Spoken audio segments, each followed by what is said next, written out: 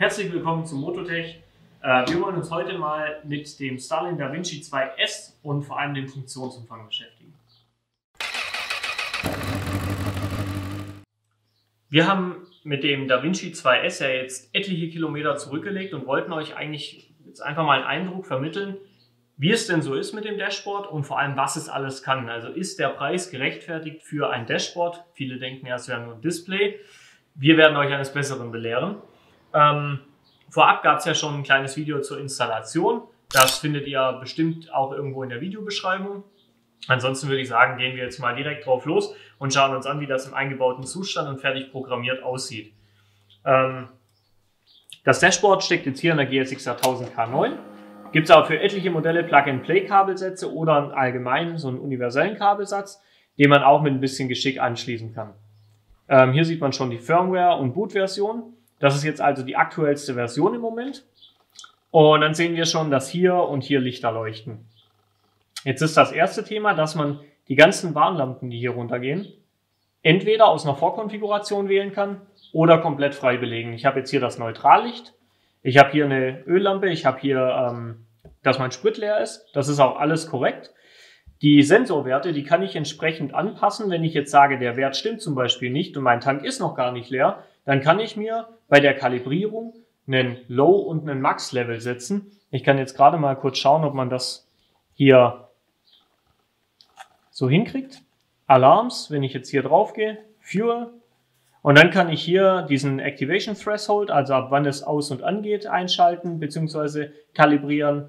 Ähm, kann kalibrieren, ob das Licht aus oder angehen soll bei, kann das Reservelevel und ähm, einen vollen Tank angeben. Und so funktioniert die Kalibrierung der Sensoren, also ohne dass man irgendwelche Voltwerte oder Spannungswerte selber auslesen muss, sondern ganz einfach hier rüber. Gleiches ist dann mit Fernlicht zum Beispiel, wenn ich jetzt hier drücke, Fernlichtlampe oder hier. Ähm, selbes mit den Blinkern, Funktioniert also alles absolut problemlos und geht sehr schnell. Zumal, wenn man das Dashboard installiert, schon die wichtigsten Grundfunktionen in einem Grundsetting abgespeichert sind. Das heißt, es ist also wirklich Plug and Play, man kann losfahren. Ähm, was das Dashboard dann auch bietet, sind mittlerweile vier verschiedene Bildschirme. Wir haben jetzt hier einmal äh, den Race-Bildschirm mit hier schöner, äh, mit hier schöner Drehzahlskala, groß dem Gang. Geschwindigkeit ist hier unten ganz klein. Aber wir haben hier dafür Laptimer-Funktion, da kommen wir später drauf. Und Lean-Angle-Messwerte, können wir euch später auch noch zeigen. Ähm, wir haben hier so einen Street-Mode, wo dann die Geschwindigkeit ein bisschen größer ist. Hier Tripzahlen, Einzeltrip, Gesamtlaufleistung. Ähm, der stimmt jetzt hier nicht ganz, weil wir da den Sensor noch nicht richtig kalibriert hatten. Ähm, aber auch hier könnte man jetzt Rundenzeiten abbilden lassen, ist frei konfigurierbar. Dann haben wir hier so ein Analog-Display für Rennstrecke und ein Analog-Display für Straße. Und die ganzen Werte sind frei konfigurierbar und wenn ich möchte, kann ich noch zahlreiche Sensoren mit dazu anschließen. Sprich, ich könnte jetzt, wenn ich möchte, Federwegsensoren mit anschließen, die es direkt von Starlink gibt.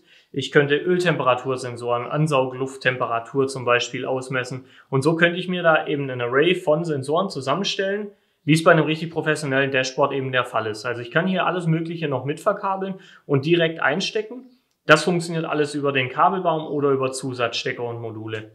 In dem Fall haben wir jetzt aber das Nötigste, also greifen quasi nur das ab, was uns das Motorrad sowieso schon liefert. Plus, wir haben den Vorteil von GPS-Speed. Das heißt, äh, wenn ich jetzt eine Übersetzung ändere, auch auf der Rennstrecke, dann wird mir das nie meine Geschwindigkeit durcheinander bringen. Und ähm, ich habe eben durch diese GPS-Funktion auch den Vorteil, dass ich auf einer Rennstrecke das ganze Thema als Laptimer und Data Recording Tool verwenden kann. Und dazu kommen wir jetzt. Im Endeffekt habe ich hier auf dem Display, sobald ich auf eine Rennstrecke fahre, eine kleine Anzeige, die mir sagt, ich war jetzt letztens auf dem Hockenheimring, da kommen wir auch gleich dazu, dann kommt hier eine Anzeige, ähm, quasi Track erkannt, Hockenheimring. Das habe ich bisher mit dem Corsaro von Starlin und mit allen Starlin-Produkten so gehabt und das funktioniert wunderbar, dass quasi eine automatische Track-Erkennung hier aufpoppt ich gehe nur auf OK und muss nichts weiter machen. Keine Koordinaten abfahren, keine Knöpfe drücken, nichts mehr tun, einfach den abgespeicherten Track bestätigen und ab da, wenn ich das erste Mal rausrolle, wird die Zeit genommen. Das ist jetzt natürlich ganz lustig, weil ich habe dann hier, wie gesagt, meine Gaps, meine Bestzeit und meine derzeitige Zeit.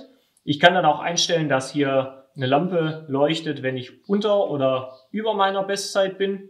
Ähm, was ich vorhin noch vergessen habe, aber selbstverständlich ist, ist hier oben die Leiste. Das ist ähm, der Schaltblitz. Der funktioniert sehr schön hell und sehr zuverlässig. Also auch wenn man ihn nicht ganz im Blick hat, das soll ja ein Schaltblitz machen, warnt er einen unterschwellig davor, hey, du solltest hochschalten. Geht also alles wunderbar.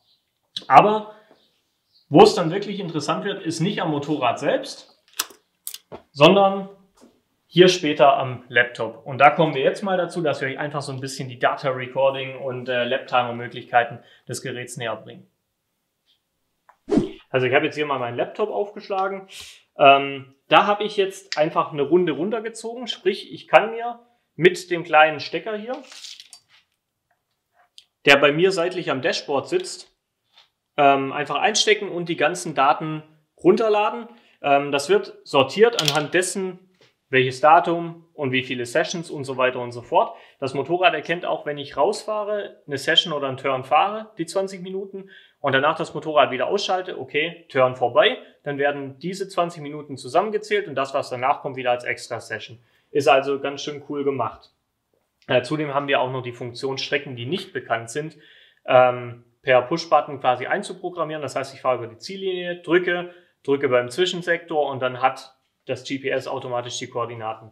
Aber hier mal zu Hockenheim. Wir haben jetzt hier tatsächlich alles, was wir brauchen. Wir sehen hier einmal die Karte vom Hockenheimring. Die könnten wir uns jetzt auch auf Google Maps quasi anzeigen lassen. Ich habe das jetzt einfach so. Hier neben diese ganzen hektischen Linien, das ist jetzt quasi mein Data Recording. Hier habe ich die Anzeige von Gang von den G-Werten, also Beschleunigung, ähm, Längs- und Querbeschleunigung. Ich könnte hier meine Lambda-Werte mitnehmen. Mein Lean Angle, also mein, meine Schräglage habe ich hier, jeweils in Min und Max für die Runde und in Value aktuell da, wo ich auf der Runde stehe. Ich habe meine Drehzahl, ich habe meinen GPS-Speed, ähm, ich habe meine Drosselklappenposition hier drin, also schon einige nützliche Themen. Dann habe ich hier jetzt mal eine Runde, das ist eine 1,57 gewesen, also nichts Berauschendes, aber die könnten wir jetzt quasi von vorne bis hinten abfahren. Das können wir einmal machen, hier über dieses Tool. Oder wir gehen einfach hier auf der Karte, das ist eigentlich ganz cool, auf einen Fleck und können dann quasi auf der Karte die Runde abfahren. Das heißt, wir können hier auswählen, wie schnell war ich zum Beispiel am Ende der Parabolika. Das wird mein Maxwert sein. Die, das Motorrad war sehr kurz übersetzt, deswegen nur 247 km/h GPS am Ende der Parabolika, also wirklich viel zu kurz. Ähm, kurz danach wollen wir mal schauen, wie das in der Spitzkehre aussieht. Das ist ja grundsätzlich so einer der langsamsten Punkte. Da können wir jetzt einfach hier mal ein bisschen durchgehen und ein bisschen durchklicken. Und da haben wir jetzt auf der Spitzkehre noch knapp 44,3 kmh auf der Uhr stehen.